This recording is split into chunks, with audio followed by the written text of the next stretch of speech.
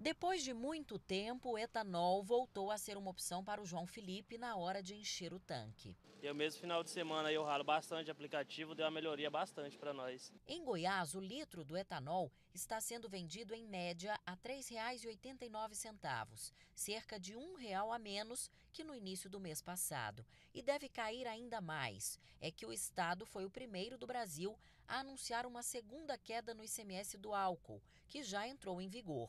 De acordo com o Sindicato dos Produtores do Combustível, a nova redução é para corrigir uma distorção da lei que reduziu o ICMS dos combustíveis e que deixou o imposto do etanol igual ao da gasolina. O mundo inteiro valoriza o combustível limpo e renovável, justamente para que emita menos CO2, valorizando a saúde pública e o meio ambiente. Então, no Brasil teve essa distorção de, no primeiro momento, nivelar os combustíveis essa PEC minimiza um pouco esse efeito, até porque ah, está acontecendo uma redução nos estados, mas é uma redução menor do que, a, do que nós tínhamos há 30 dias atrás. Né? Mas não deixa de ser um alento para o setor de biocombustíveis. Em Goiás, o ICMS do etanol caiu de 17% para 14%. O consumidor comemora. Com essa redução, além de estarmos em plena safra de cana-de-açúcar, o consumidor deve sentir a queda nas bombas nas próximas semanas. A gente tem que prestar atenção e abastecer, assim, quando vê que está caindo, a gente aproveitar para encher.